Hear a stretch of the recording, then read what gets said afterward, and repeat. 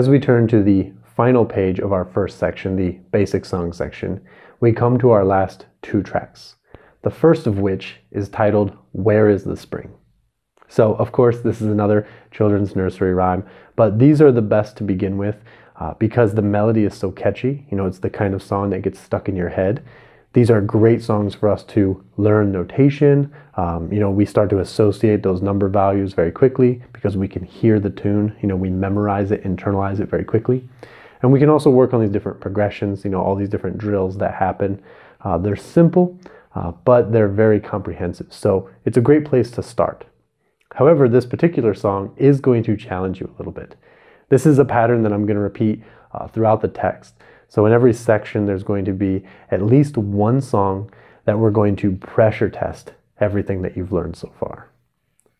Most of the time, we're going to do that testing by increasing the tempo. So raising uh, the BPM to a faster speed, okay?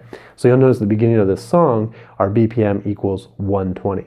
So you can tell it's a very bright, upbeat, fast-paced song.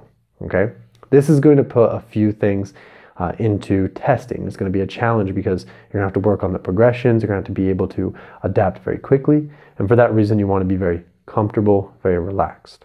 Okay, so let's review a few of the things that happen in the notation. First off, as you walk through it, you can see we have those zeros. We have those resting pauses. Um, and you'll notice in the first two lines, especially, there's no breath marks. So remember, anytime we have that zero, that's a substitute also for a breath. Uh, just because it's a wind instrument, anytime we pause the sound, it's just a good opportunity for us to breathe in, recover that inhale, uh, prepare for the next phrase. So you can pencil that in, but it's not notated. So there is no breath mark written. Um, but that's kind of a given when you see a zero, for example. Then moving forward, as we get to line three and four, you recognize a lot of uh, little progressions that happen with one number being repeated a few times. So we have four, two, in line four we have one and five, right? So we have this like three or four times repeating a single note, right? And because they're not bracketed together, because they're not sustains with dashes, each of those notes has to be rearticulated. So this is going to be the thing that I think is going to be very challenging for this piece is that rearticulation at a faster pace, okay? Because if we review, when we rearticulate, that means that whatever the lowest uh, sound hole position is, we open and close that briefly. And we don't want to open it so much to where you hear the sound of the higher pitch. We just want to do it enough to where you hear that single pitch resetting. Okay, so it's a very subtle, very brief, uh, very relaxed motion. It's kind of like a flutter in a way. Um, and so for that, if you're if you're very tense and you're kind of still squeezing the, the flute, you have this very tense grip. When you lift the finger and go back down, you're going to have a very jolting, a very jarring sound, right? So we want to keep it very soft, but we do want to hear that rearticulation, right? Now the difficulty this is, we tend to have a few uh, fingers that we rely on, right? We normally rely on the index and the thumb quite a lot, which I think is fine. Like if you have a lower uh, position, lower register, you can rearticulate with the one. Um, but that's going to be a special technique that we haven't learned yet. So we also do want to build up some dexterity with the small finger, the pinky finger, and with our ring finger uh, on the on the fifth hole here. So one and five we can also use to rearticulate positions one and positions five. Okay, and so we do want to uh, work on that dexterity. Again, if you're playing at a really fast speed, you can rearticulate with your index fingers. So lower position, we can use the right hand, and the mid position, we can use the left hand. Um, and you can kind of get away with that at a fast speed, uh, but I, I, recommend you to, to try it, even if it's just at a lower pace, and try that rearticulation, okay? Um, but yeah, we're going to be playing this at a faster speed, but first let's kind of walk through it uh, so you can hear the rearticulation happening, okay? So the song will sound like this at a slower pace. Uh, follow the next video to get the full speed. But again, that's something that we can add. So that'll be the way you test and challenge yourself. Okay, so this is Where is the Spring at a slower pace and pay attention to the rearticulations. Okay.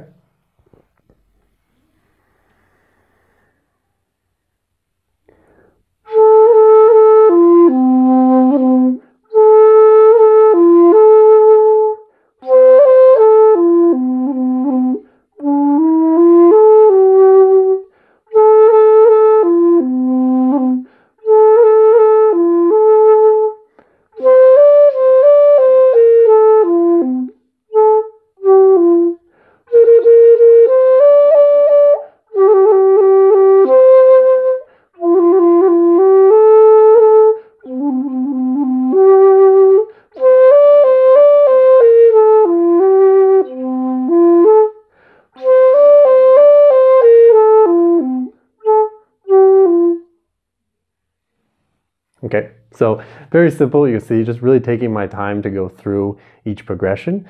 And, and you will kind of notice that uh, you can vary it a little bit, right? Because we're going to have a lot of repeating notes. So if we step that up just a little bit, you can see how that pinky is going to be a little bit difficult to rearticulate. So if we start, uh, we'll start midway through the third line. And actually there at that four, that's a good place to review. Remember there, we're going to kind of roll and just touch the back hole, right? So it's there is a technique where we kind of flutter like this uh, and kind of go into the flute, pressing the thumb, but that can be pretty uh, hard in the beginning and also it's more for a trill, something that we repeat for a long time. For this, because we just want to sound it off a few beats, it's nice to do this roll. And I recommend not going up and then down. I actually, I think it's better to stay in time to go up and lift, come back down and lift again.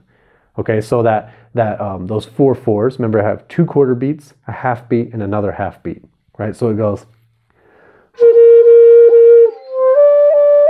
right?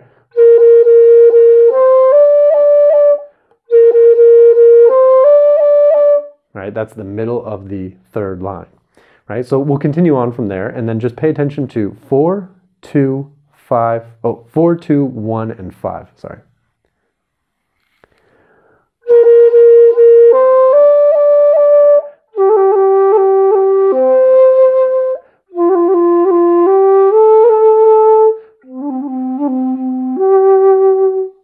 Okay, so line three and four, a lot of rearticulation that happens there, and you can see how, okay, the five is going to be a little bit slow, the one is going to be a little slow, and so when we speed that up, when we play at full speed, it's going to be pretty difficult to keep up with it.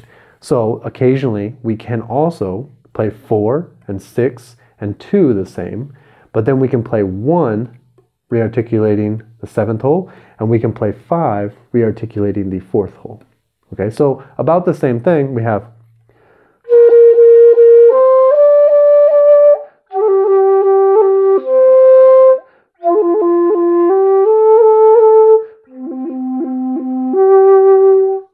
And we can get away with using the index fingers in those positions, uh, but I recommend to, to try it out both ways. Um, you can also add in variety as you get more comfortable, um, but stick with basic and then the variation, okay? And that'll be a really good song for you to work on. I think this is one of those ones that you can come back and kind of even warm up with to challenge yourself because that rearticulation is something that we always struggle with uh, as the weather gets more cold and you're playing, uh, trying to warm up your flute, warm up your hands, uh, you'll notice that your, your response time is a little slow. Very normal, just take it one step at a time. Uh, and yeah, hopefully in no time you're playing this bright song just in time for spring. All right, well, we'll catch you in the next lesson. Get your copy of the Introduction to the Dongxiao, now on sale at Amazon.